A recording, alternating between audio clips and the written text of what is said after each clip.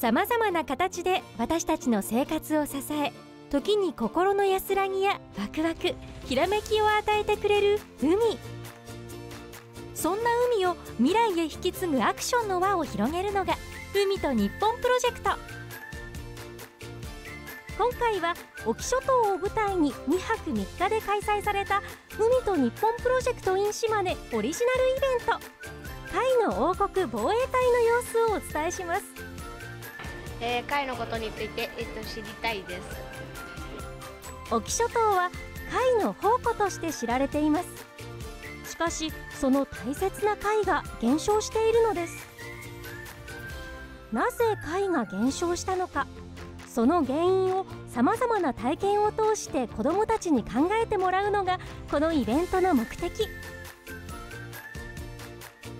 の餌となる海藻の研究養殖などを行っている岡部応用藻類学研究所では沖諸島が海藻の宝庫でもあることを学びました。そして海藻養殖のお仕事体験も。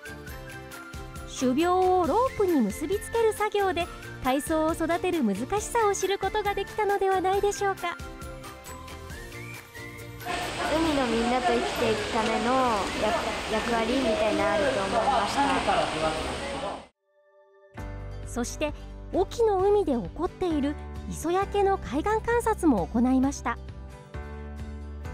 隠岐ですら海藻が減ってきていて磯焼けが進んできているっていうのはもうその日本一の場所なのにってところがかなり深刻かなというふうに思ってます。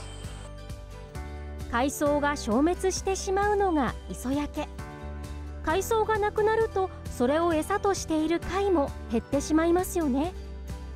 磯焼けの海岸と海藻が豊富な海岸では取れる貝の種類も違うそうです。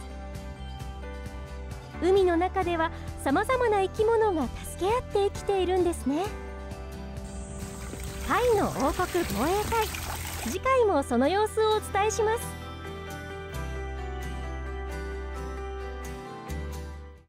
海と日本。